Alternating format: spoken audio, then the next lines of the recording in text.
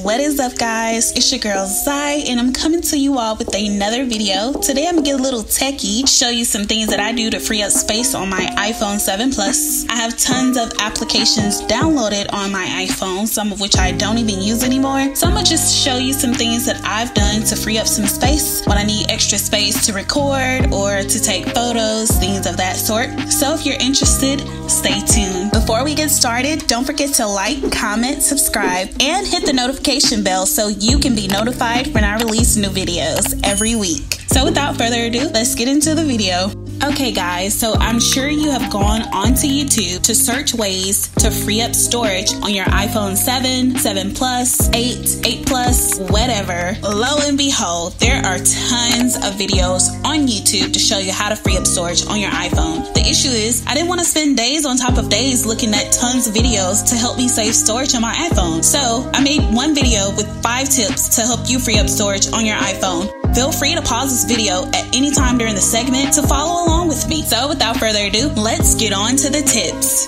Tip number five, setting your message history. Okay guys, so you're gonna go into settings, scroll down until you see the messages tab. Then messages, scroll down until you see message history. This tab will give you the option to either keep messages forever, um, 30 days, or up to a year. It's really up to you. Just keep in mind if you decide to do 30 days and you've been doing forever, it will delete your old messages. And if you decide to keep your messages forever, it does take up space on your iPhone. So just just keep that in mind, guys.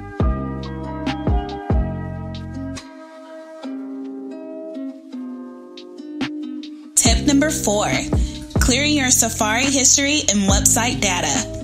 Okay, guys, so go back into your settings, scroll all the way down. You're going to see a Safari tab. Click on that tab. It's going to take you to something called Clear History and Website Data tab.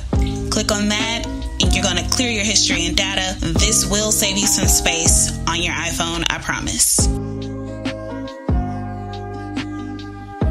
Tip number three deleting apps you no longer need. Okay, guys, we're gonna do something that most people do when they run out of storage, which is deleting apps that we no longer need on our iPhone. So you're gonna hold the icon, it's gonna give you the option to delete the app, and I'm gonna show you again. Hold the icon, delete app, it's gonna give you the option to cancel or delete. You'll hit delete, and then that's it. Tip number two offload apps. Okay, guys, so we're gonna do something called offloading apps. So go into your settings, scroll down, go into general, and then you're gonna go into iPhone storage. This is where you can see how much storage is being taken up and what apps you have on your phone already. So today I'm gonna be offloading Zillow. When you offload something, you don't completely delete it, you just delete some of the data on there and it keeps the important data that you need. So don't worry about that. You'll be able to reinstall it later on if you need to. So here I'm just offloading the app. It takes about a few seconds seconds for it to offload and then you can move on to the next app.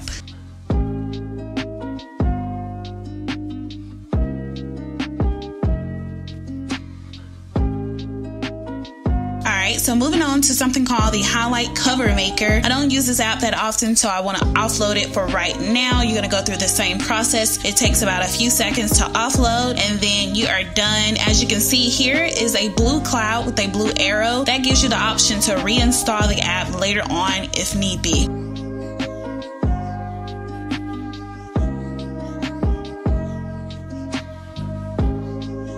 Tip number one Download Google Photos to free up space and delete old photos. Okay, so if you're interested in downloading Google Photos, I did put a link in the description box. The channel is called Tech and Design. This guy will go very in depth and show you how to download Google Photos and how to set up your account. So if you're interested, go ahead and hit the link in the description box. Okay, guys, so you've reached the end of this video. I hope these tips were very helpful. If you've reached the end, go ahead and comment storage down in the comment box so that I know that it's real. If you have any other videos that you would like me to do in regards to tech related videos, go ahead and let me know as well. I'd love to know. Um, I love to help you all the best that I can. Go ahead and hit the like button and make sure you hit that notification bell as well so you can be notified when I release new videos. Most importantly, subscribe, guys. I'd love to build a YouTube family here on my channel. I enjoy talking with you guys, and I hope to see you next time. Peace out.